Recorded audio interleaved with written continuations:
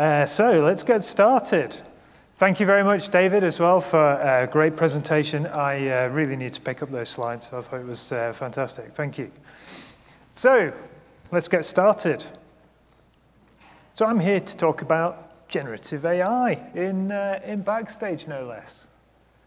So let's do it. If I just uh, try and full screen that again. Yes, there we go.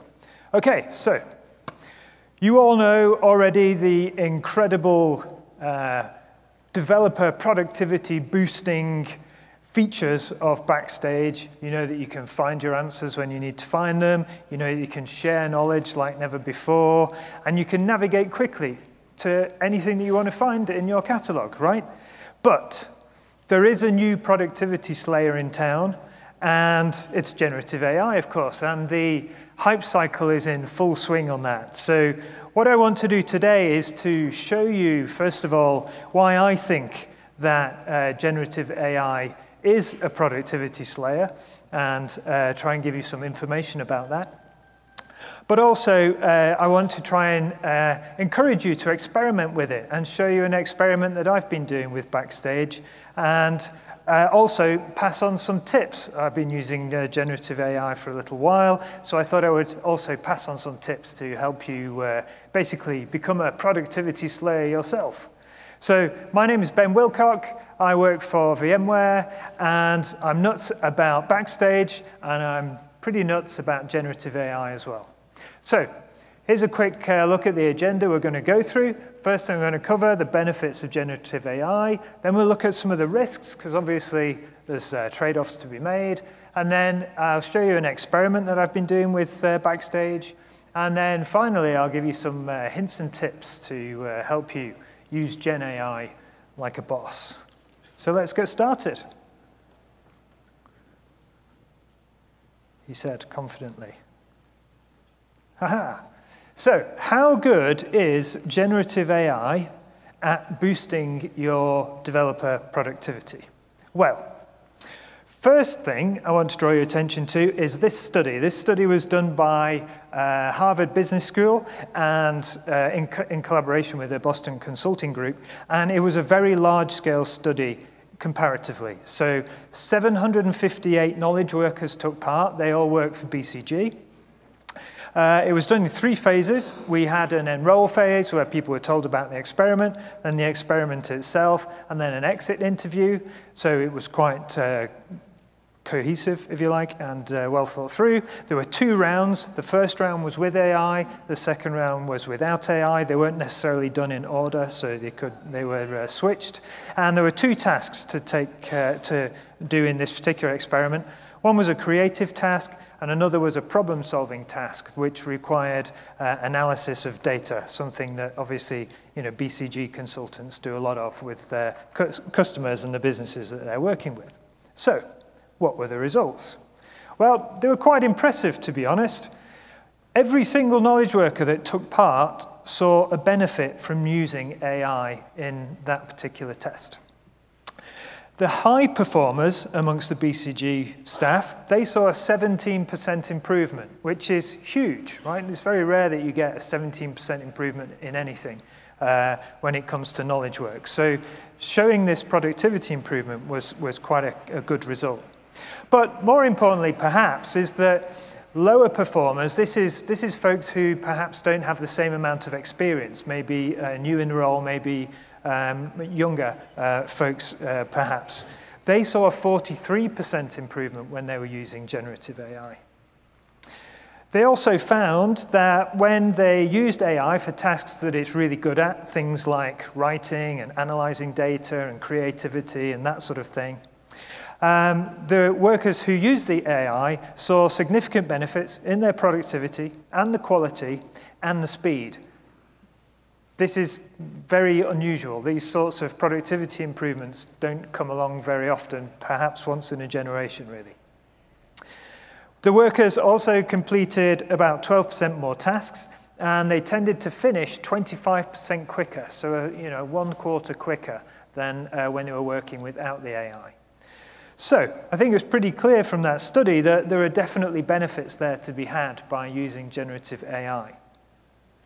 But these were knowledge workers. So the consultants working for BCG. What about software developers, right? Are they any different? Should they be different? Well, there's another study. So McKinsey ran a controlled study. Smaller um, uh, group size for this one. There was 40 developers took part, but they had varying experiences, and they were split into two groups. Uh, one group had access to two generative AI tools. Um, one was a kind of a general purpose chatbot, like a ChatGPT-like tool. Uh, the second was something more code specific, so something that's been pre-trained on code, maybe something like a Copilot, that sort of, uh, that sort of tool, right? Group B, the control group, they didn't have access to any AI technology whatsoever, so they were just doing the tasks as they would normally do them before AI came along. The tasks themselves were code generation, refactoring, documentation. So pretty much bog standard bread and butter things for developers to be doing.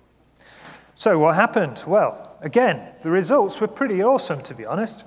Uh, developers with access to the AI tools, they saw a 20 to 50% uh, speed increase. They were faster on average by 20 to 50%, depending on the task. Same uh, story with um, finishing tasks quicker. They were finishing tasks 25 to 30% faster, and they were much more likely to uh, finish on time. So they were 25 to 30% uh, more likely to finish on time when they, were, when they were working on a task. They also noted in that paper that they saw tremendous gains in four particular areas. So one was expediting manual and repetitive work. Another was jump-starting uh, the, the, first draft of code. Um, third was accelerating updates to existing code, perhaps things like modernization, for example, which is um, obviously a hot topic. And fourth, it was increasing developers' ability to tackle new challenges. So perhaps uh, working on less usual uh, tasks than, than, than they would normally get. Maybe for example, a Java developer getting a Python task or something like that, right? So anything that allows them to, uh, to sort of migrate and increase their knowledge base tended to make them uh, more useful, and they saw lots and lots of gains in these areas. So what can we learn from these studies? Well, number one, AI makes us more productive. Doesn't matter if you're a knowledge worker or a developer, it's the same, same result. Um, there are clear advantages to using AI in those uh, knowledge-based uh, tasks, knowledge-heavy tasks, things like coding. Two, developers should consider using generative AI, but perhaps it's best to follow the McKinsey example of using two. You should perhaps have something that helps you with code, something that's available in your IDE, but it's also really useful to have something that helps you with all the times when you're not inside your IDE. Sometime uh, having access to chatbots, things like uh, you know, a ChatGPT or something like that, um, is really, really useful for helping with all those ancillary tasks that perhaps you don't use your IDE for, um, but they can still make you more productive in those areas. And I'll give you some examples a little bit later of uh, some ideas of where you could apply that thinking. And also, it's not just developers who benefit, right? There's also a benefit for product managers. Product managers using AI, they can perhaps increase their DORA metrics, for example, fix issues faster, improve quality. Perhaps it's around testing and documentation. You could use AI to help you increase your code coverage, get uh, fewer defects, for example, and have fewer regressions as a result. Perhaps it's about planning and productivity generally. So maybe you can use AI to analyze data to help you make better decisions around resourcing and um, how to use your resources more efficiently. Or perhaps it's embedding AI features in products to help customers use them more easily or to get more from them than they currently do. And finally, of course, developer experience using AI in this way by you know, helping and supporting developers in their knowledge, uh, knowledge tasks, you can really reduce stress levels. You can limit burnout, you can increase knowledge, share it more widely amongst team members. Uh, inexperienced and experienced alike, they can all benefit. McKinsey found that in their study, developers reported being two times happier and entered into a flow, a flow state uh, much faster than they did when they weren't using generative AI. So lots of good reasons there why you should take generative AI seriously and think about it or uh, for your development teams. But it's not all plain sailing. There are some risks as well. You should definitely think carefully before using online uh, generative AIs, for example. This is what Gartner said. The use of online large language models, such as ChatGPT, Google Bard, etc., requires a number of trade-offs that many organizations will find unacceptable. For example, privacy is a problem. Samsung found this when their employees started to use ChatGPT. They accidentally leaked information about upcoming chip manufacturing techniques uh, because ChatGPT does not forget the prompts that you give it.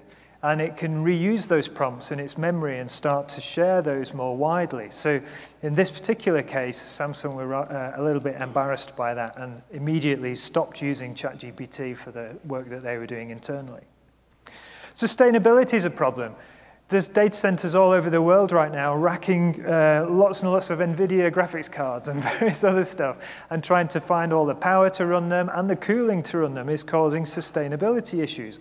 Here's a story from, uh, from the US where there was a 34% spike in water consumption from a Microsoft data center, um, all down to the use of uh, generative AI and the need for extra cooling and stuff.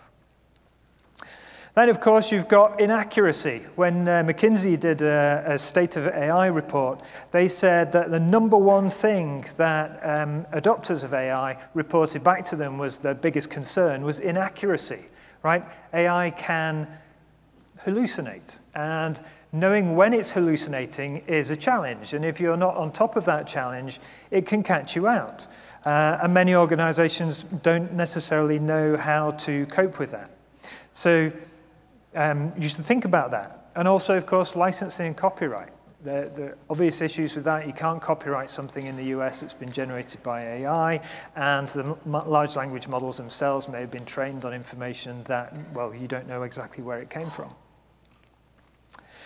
So, I wanted to show you what I've been doing to experiment with AI safely in Backstage. So I, I, I uh, introduce you to uh, what I've been working on here, which is adding a private, secure, local AI to Backstage.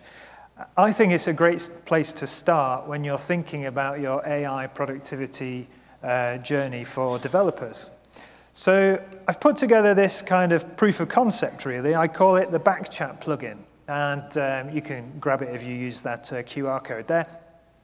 But basically, this plugin just allows you to start to get a feel for what it might be like if you had generative AI features inside of Backstage. So developers, well, first and foremost, didn't have to leave Backstage in order to be more productive, which I think is rather important. What is it? Well, it's um, open source. It's based on an awful lot of open source tools. It's embarrassingly simple, so you know, please don't judge me. But there's a lot of open source tools in the background, but it's basically bringing AI locally, and you can run it from anywhere, uh, and you can introduce that into your uh, Backstage uh, GUI very, very simply. What's, how's it uh, architected? Well, it looks something like this. You have the, the plugin itself, and then currently you have a number of choices of open source tools which you can use to hook into that plugin, which will allow you to then expose AI-like features inside of Backstage. That's how it is today. It's not how I want it to be. I've got some ideas about what the roadmap should be for this tool, but I need help. So if you're a developer out there and you want to help uh, bring uh, generative AI to Backstage, then you should definitely get in touch because I could, I could use your support and uh, would really appreciate it. So, should we have a look? Uh, I'm going to ask Backchat, ask, uh, Backchat a question now, so uh, bear with me a second while I try and get it onto the screen for you. So let me slide this over, th slide this over there. Okay, here we are. Okay, nearly there. Sorry, for, sorry, folks. Working behind myself is a bit awkward. Here we go. So here we have Backchat, right? And uh, as you can see, I've integrated it inside of um, Backstage, and I'm going to ask you a question. So uh, down here's my uh, question box. Um, I click in there and paste that in there. I'm going to ask it, my Kubernetes pod is stuck. It's in a crash loop backoff. How can I get the logs?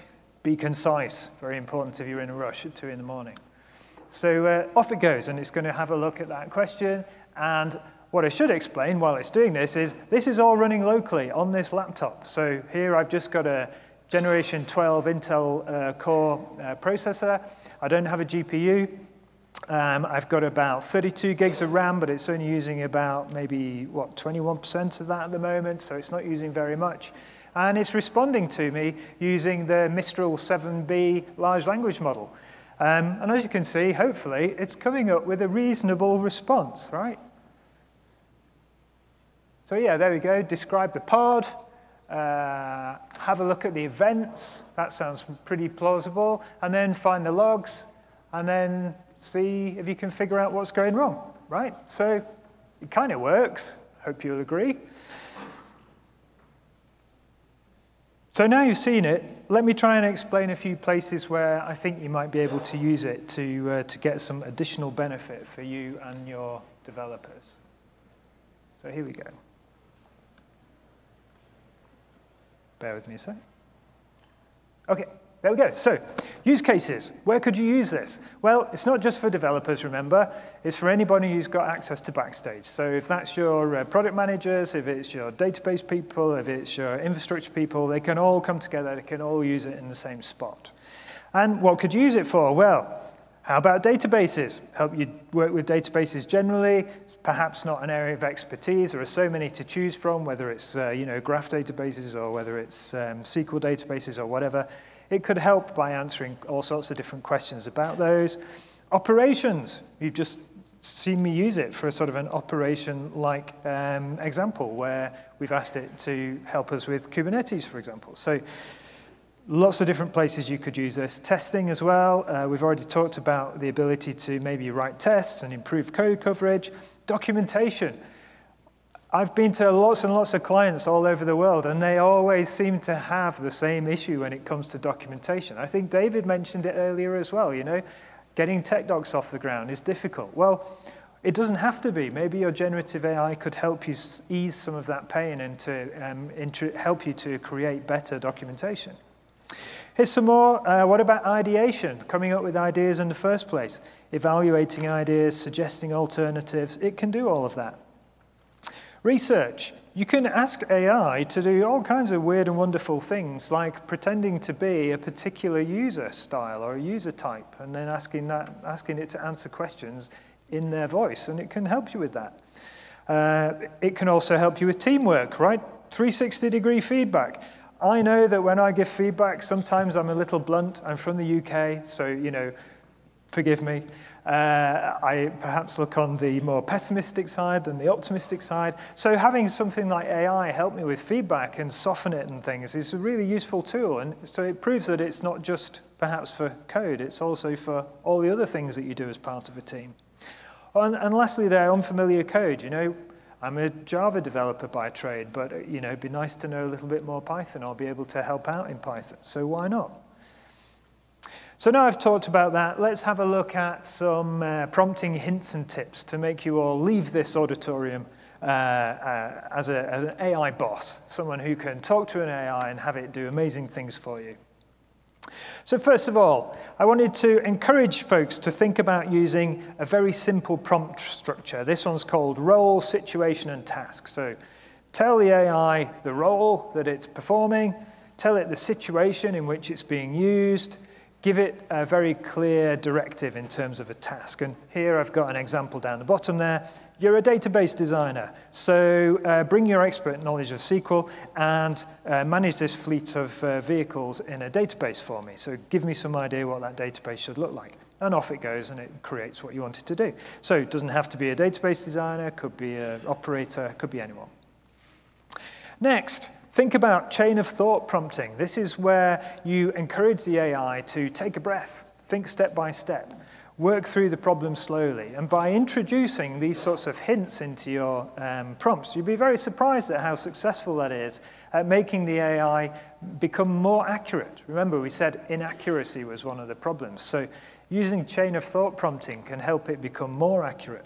So in this particular example, create a Javadoc. Here's the method go and write it for me, but think carefully and check your answer. So I'm hoping this is going to get the AI to sort of look at the code that's in the method and sort of actually try and document it properly. Or try these. I like to call these uh, show me and tell me. Uh, the first one over on the left there, that's show me what you got, basically. It's like saying to the AI, I don't really care how you do it, just show me what you've got. So um, it would be include things like um, uh, asking the AI to show rather than tell, uh, sorry, you showing the AI rather than telling it what it needs to do. So, for example, I've uh, included a, a, the, an idea of uh, summarizing a paragraph, right? Summarize this paragraph, use a similar engaging style. It'll write prompt in the same sort of style.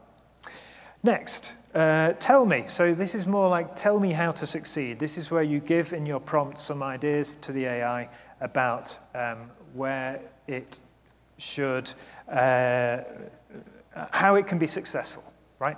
How, tell the AI, this is what a good answer looks like. Don't repeat yourself. Make sure that it's done in your own words. Um, make sure that it's concise, etc.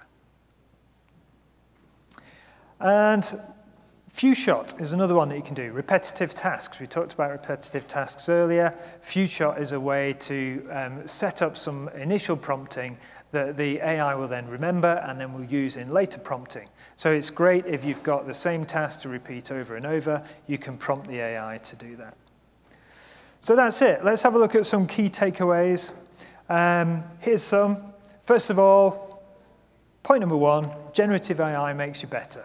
Doesn't really matter who you are or what you're working on. It makes you better. So you should embrace it. You should use it. You should try it. You should see how you can incorporate it into what you do. Secondly, think about the things that Gen AI can really do well and can accelerate for you. So anything that includes creativity, for example, or analyzing data is a good place to start. And think about how you're going to, what you're going to do in the future. You know, are you going to integrate AI with your people and processes? Are you going to um, train your own AI models so that they're more um, useful in your organization? Or are you going to integrate AI into your products and services? And what are you going to do when AI is everywhere, like when AI is in your pocket or in your car or uh, in your fridge? I don't know. All these other places where you might find AI in the future. What are you going to do when it becomes an AI-centric world? Um, so that's it. Thanks very much for listening. I really appreciate your patience, especially with the screens and stuff. Uh, I hope you found that interesting. Here's a few links, places where you can uh, get more information. Um, you can have a look at Backchat, and there's also some tech docs for it and, and, a, and a, a, software catalog for it, and all sorts of other things. So um, please take a look, and if you've got any questions, I'll take them. Thank you, Thank so, you much, so much, Ben. ben. Did I run over? We have any questions? Hmm? Over there. Oh, there we go. We have some, uh, some takers.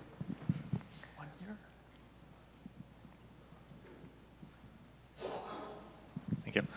Uh, thank you very much for the presentation. Um, in my org, the generative AI initiative has primarily been Slack-based. So how, uh, given that like Slack already provides a pretty good uh, AI chatbot. How do I resolve that and I guess um, integrate generative AI in Backstage in a way that doesn't conflict with that Slack? Yeah, it's an interesting challenge, isn't it? Uh, who provides that? So is it is it from Slack? So Slack have the, the large language model and they host it for you? And I don't know for sure, but I'm I think it's a combination of um, existing open source tools with you know our own internal team curating it for um, our internal experience. Yeah, I think it's worth looking into how is it delivered so that you can understand it more and then figure out, okay, is there a way that I can integrate this easily, for example? So if there's a large language model behind that, maybe an open source large language model, perhaps it's been trained, perhaps it hasn't, you know, retrained if you like. Um, you might be able to use exactly the same model in these tools that, uh, that I've, I've shown you today. So something like local AI or TextWeb uh, Gen AI. Um, they, they can both use hundreds of different large language models from lots of different providers. So you might be able to use exactly the same model but deliver it in a very similar way. it, it, comes down to the details, unfortunately. We'd have to say it depends on how you've done it and how it, how it works at the moment. Awesome. And as a follow-up, do you have a roadmap for the Backchat plugin?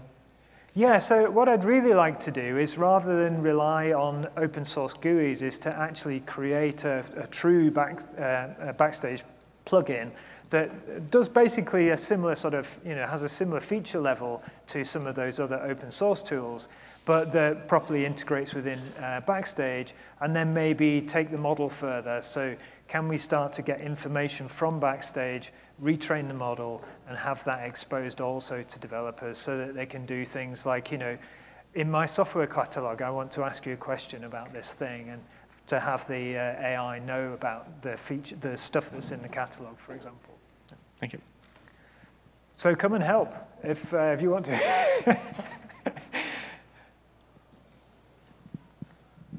hey, Ben. Uh, oh, it was hello. a nice talk. I really enjoyed this.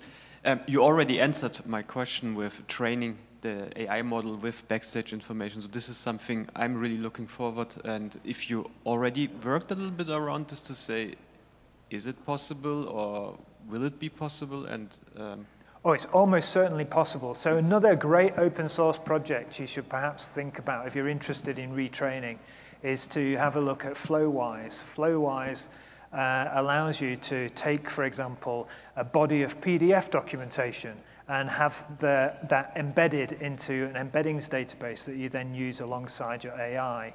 Uh, to, uh, so that when you ask a question, it can also use those fresh embeddings to answer that question for you. So yeah, Flowise is definitely worth checking out because it gives you a really nice, easy way to start to get comfortable with how all those different mechanisms work.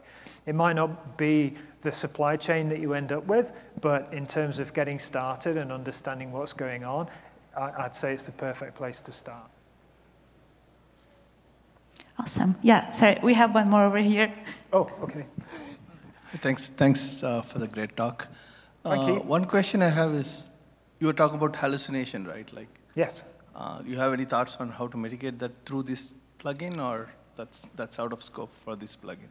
The hallucination is always going to be a factor of, a, of AI. It doesn't really seem to matter whose you use, whether it's the most powerful tools out there, the GPTs of the world, or the Claudes, or whatever, or just an open source um, large language model. There's, there's hallucination everywhere, and it's it's down to the fact that the way that the um, large language model is created means that it's very unpredictable uh, in terms of what sort of answer you will ultimately get to any one question. It's non-determinative. You can't, you can't always get the same answer to the same question. So um, knowing when an AI is hallucinating is one of the key skills right now for any knowledge worker or developer or anyone who's using AI in their daily work. It's knowing when it's giving you results that are just not accurate. But do you have any thoughts of, uh, you know, you have some ideas you said, right? Are you also having thoughts along these lines or that's totally out of scope? No, I'm watching what other people think about that and um, hoping that the, uh, the, the, larger, broader community of uh, large language folks will uh, ultimately get a handle on that. But I've been following this for a while now, and I, I can't say I've ever heard of uh, particularly good answers around that. It's the same with deleting or making memories disappear from a large language model. Even the most up-to-date methods fail at the moment to take care successfully of deleting information from a large language model. So for things like GDPR, it's a bit of a nightmare because once it's in there, it's difficult to get it out. Right, thank you. That's that's all the time we had. Thank you so much for all the questions.